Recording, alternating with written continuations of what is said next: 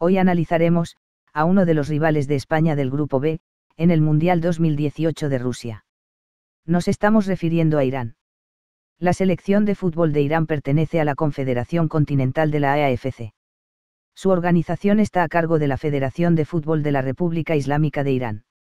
Históricamente, Irán, es uno de los mejores equipos de Asia. En junio de 2005, Irán logró posicionarse como el décimo quinto mejor equipo del mundo en la clasificación mundial de la FIFA. Hasta la fecha Irán ganó tres copas asiáticas de forma consecutiva, en 1968, 1972 y 1976. A nivel internacional, participó por primera vez en la Copa Mundial de Fútbol de 1978 en Argentina, siendo derrotada por los Países Bajos y Perú, pero obteniendo un importante empate ante Escocia.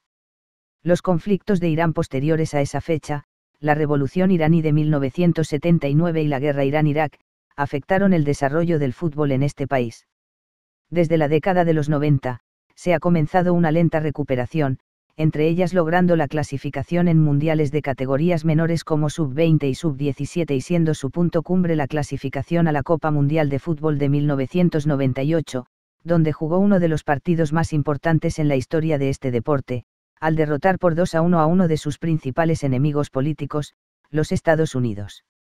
Para la Copa Mundial de Fútbol de 2002, participó en la repesca con el representante de la UEFA, Irlanda, que finalmente derrotó al conjunto persa y evitó su clasificación.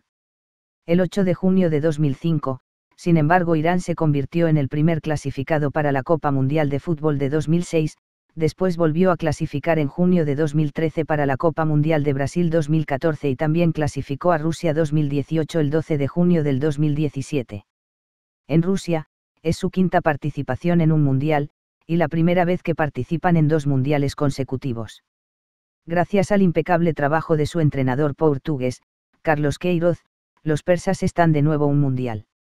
Se clasificaron de manera contundente, liderando su grupo asiático, donde también se clasificó Corea del Sur. La estrella del equipo es Sardar Azmoun. Pese a su corta edad, el jugador del Rubin Kazan ruso, no evita echarse el equipo a su espalda para dirigirlo.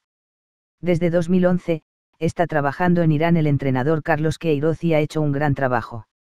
El objetivo en este mundial es al menos poder ganar un partido en este mundial, teniendo en cuenta que le tocó un grupo difícil con España, Portugal y Marruecos.